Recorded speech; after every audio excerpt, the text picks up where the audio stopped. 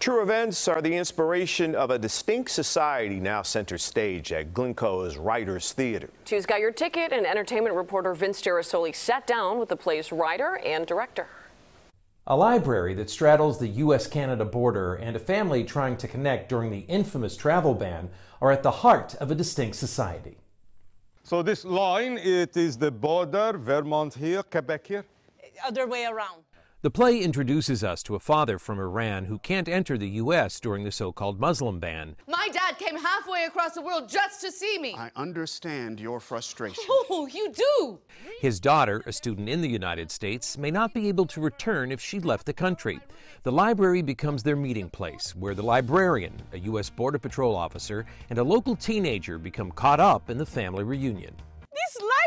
This is full of funny, smart things you can read when you outgrow comics. The Haskell Free Library and Opera House is a real place at the border of Quebec and Vermont.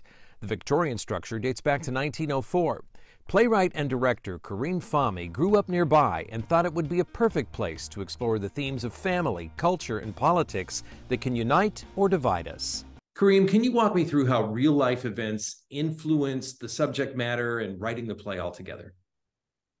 Yeah, so many real world things came together in the creation of this play. I mean, first of all, the actual events when uh, this library was, uh, which sits over the border of the US and Canada, became noteworthy back in 2017, 2018, because families that were separated by the, the Muslim ban uh, figured out that they could use this library as a meeting place. So that was such an engaging story for me as a person of Middle Eastern descent.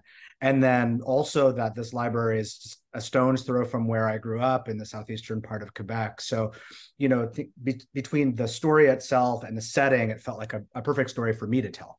I guess the the touchstone of the plot line seems to be politics, but it's about much more than that. To me, what I was much more interested in examining is like what are what is the human cost of sort of political um, dynamics and, and and political conflict. So for me, it was really about how do I zero in on on these humans that inhabit this space and how this political world swirling around them um, has a lived consequence in their day to day lives. The play is both funny and poignant. A Distinct Society is playing at Writers Theatre in Glencoe through July 23rd.